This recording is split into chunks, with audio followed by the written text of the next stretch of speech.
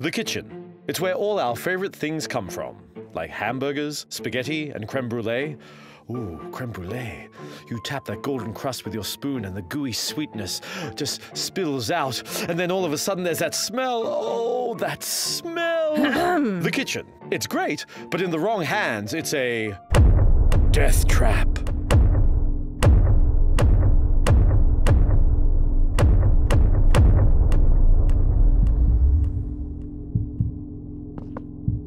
What kind of a monster could do this, you ask?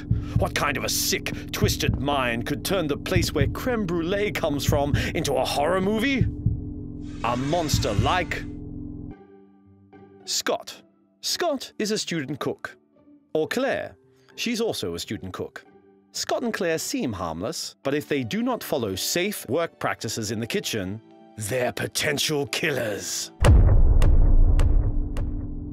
Let's start with clothes. Scott's baggy top may be what he calls fashion, but it's what I call a kitchen disaster waiting to happen. If a baggy sleeve or a hoodie drawstring should dangle over an open flame, it'll be Scott rather than the steaks that ends up well done. Better. Your shoes are also a problem, though. Well, I say shoes. It's the kitchen, not the beach, Scott. We wear sturdy, lace-up shoes when cooking to protect our toes in case we drop a pan. There we go. I don't know what you're smiling at, Claire. You're almost as dangerous. Lose the chewy for starters. We don't need gum in the gumbo. Your short hair's not bad. With longer locks, we'd need to tie them up. But your shirt is also a problem. Sleeveless tops leave your arms vulnerable to burns from splashes, steam, or contact with anything hot. Good. You know, I think we're actually getting somewhere. oh dear. I spoke too soon. Show me your hands. Have you come straight from a car repair video, Claire? Those hands are filthy. Wash them in soap and water. And you can wash yours too, Scott. We wash our hands before preparing any meal, not just when we think they're dirty. While you're washing, you should also remove your rings. Claire's rings, Scott. You don't want to lose them, and your guests don't want to find them going down their gullet. Now, let's see you. Hmm, not bad. Once you're each wearing a washable apron and plastic gloves for hygiene, I think we might actually be safe to start cooking. What could go wrong now? A lot.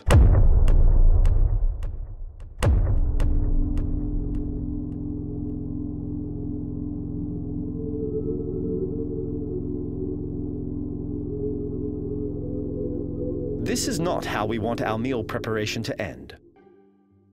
Cuts can be avoided by observing a few basic rules. Select the appropriate knife for the task. Scott, that cleaver is too clumsy for small ingredients. Try Claire's knife instead. Uh-uh.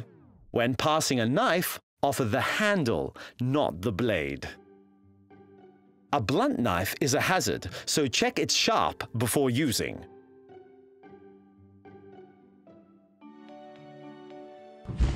So, the lesson is never test sharpness using your fingers. Use some food.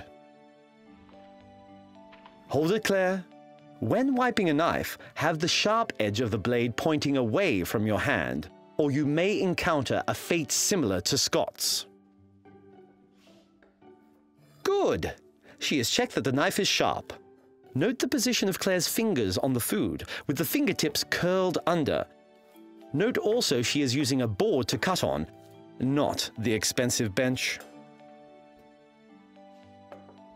Look how she has placed the knife, correctly lying flat on the bench. Never like this.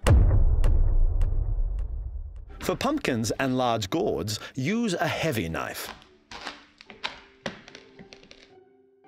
To avoid nasty accidents, never play pranks in the kitchen.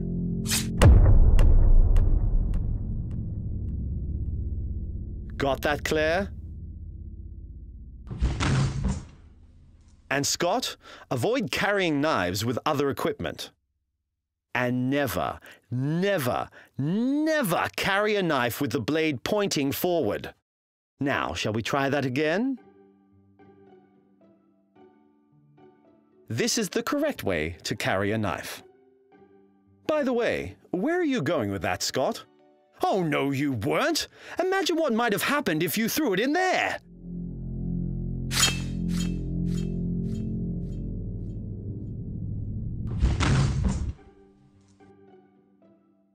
Store knives away in racks when not in use.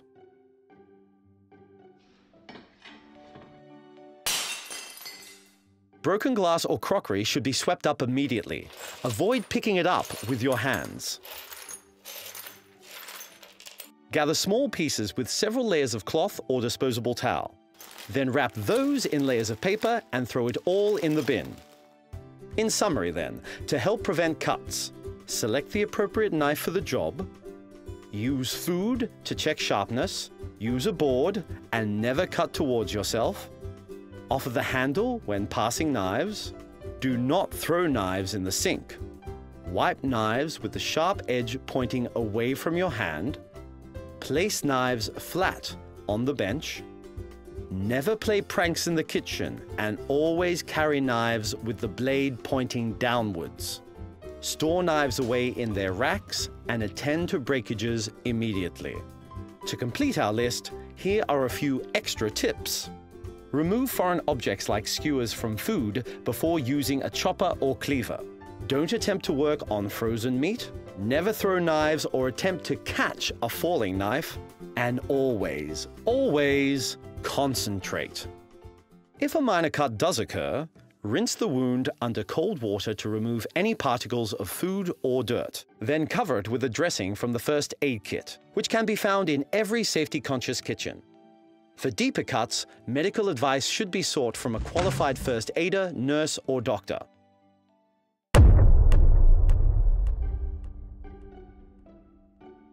A burn is caused by dry heat and can be avoided by using an oven mitt or thick, dry cloth. Do not use a wet cloth, as heat quickly converts water into steam. To avoid handles becoming hot, take care not to leave them over hot elements, nor should they hang over the edge of the stove as they could be easily knocked. Very good, Claire. But you should remove metal objects like that ladle from hot foods immediately, so they don't become hot as well. And if you know a utensil or pan is likely to be hot, warn others who might handle it. And here is a perfect example of why it is important for tops to be close fitting. What might have happened if Scott was still wearing the baggy hoodie we first saw him in? If clothing catches fire, act immediately. Don't run or wave your hands about. The casualty, yes, Scott, that's you, lie on the floor and be covered with a fire blanket. A scald is caused by wet heat. To avoid scalding, lift lids of hot pans away from you so that the steam escapes without reaching your face.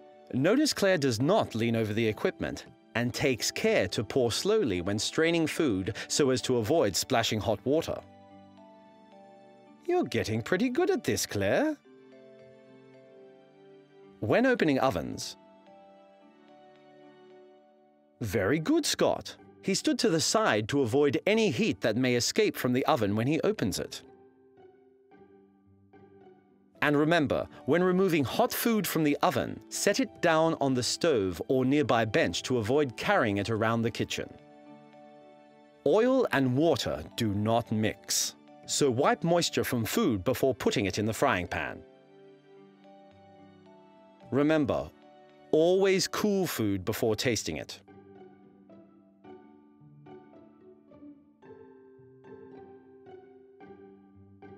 Oh no you don't, Claire. We don't double dip the spoon without washing it in between.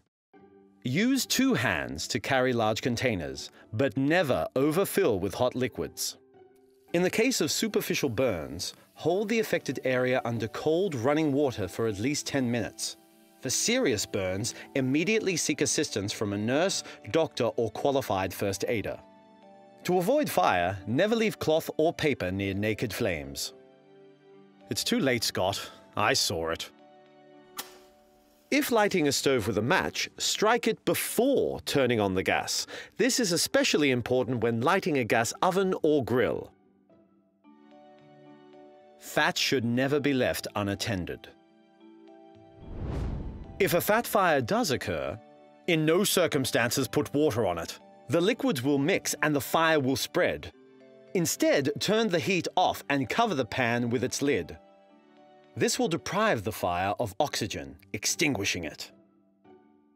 Fire extinguishers, which every safe kitchen must have, should be checked regularly to ensure they are operational.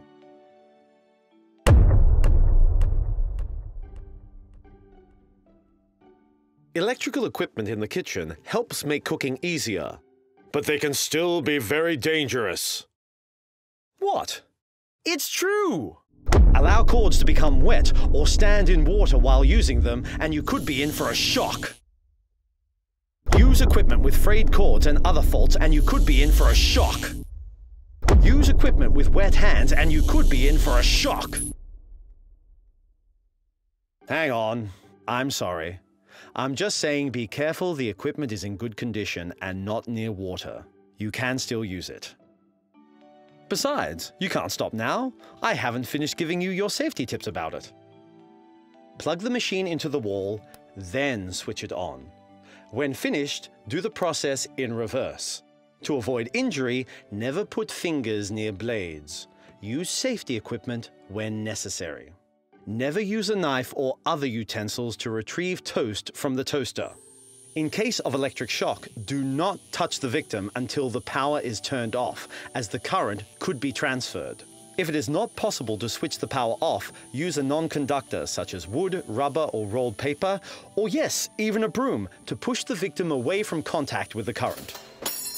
Stay with the victim until medical help arrives. If you know CPR, and the patient needs it, administer it immediately.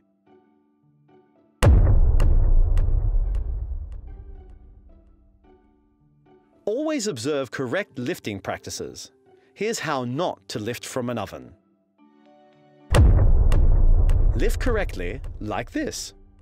Firstly, ensure both hands are free. Bend at the knees and use both hands to remove the dish. Scott, you need to go back and watch this whole video again. We can't end a discussion of kitchen safety without mentioning hygiene. Here are a few things to remember. Keep food out of the danger zone between 5 and 60 degrees Celsius to stop bacteria multiplying. Thaw frozen food in the fridge, not on the bench. Cook foods thoroughly. Use separate chopping boards for meat and vegetables. Don't let meat juices drip on other foods. Throw out foods which have reached their use-by dates. Clean up the kitchen as you go. Wash fruits and vegetables thoroughly. Wash your hands with hot soapy water after going to the toilet, blowing your nose, or touching your hair. Cover up any cuts on your hands. And of course, store poisons, including cleaning fluids, well out of the reach of children. Or Scott. Finally, always obey these golden rules. If you knock or spill it, wipe it up. And if you drop it, pick it up. Finally, never leave cupboard doors or drawers open. And never run in the kitchen. By observing basic kitchen safety standards, accidents will be avoided, ensuring you will have a killer meal uh, without killing the cook. Bon appetit!